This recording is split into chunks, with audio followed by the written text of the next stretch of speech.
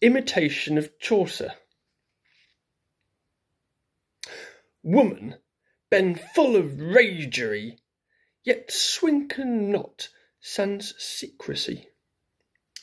Thilke moral shall ye understand from schoolboy's tale of fair Ireland, which to the fens hath him betake to filch the grey duck from the lake.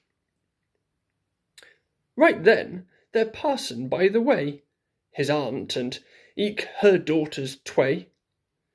Duck in his trousers hath he hent, not to be spied of ladies gent. But ho! our nephew, crieth one. Ho! quoth another, cousin John. And stoppen and laugh and callen out, this Seely clerk full low doth lout.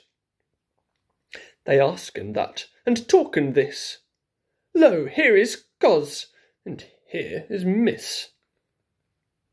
But as he glosseth with speech's suit, the duck sore tickleth his erse root.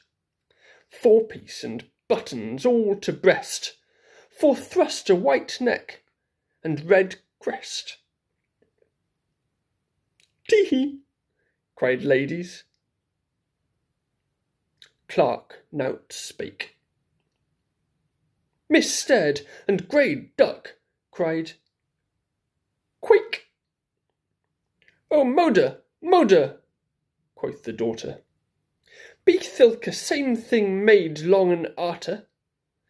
Better is to pine on coals and chalk than trust on mon whose yerd can talk.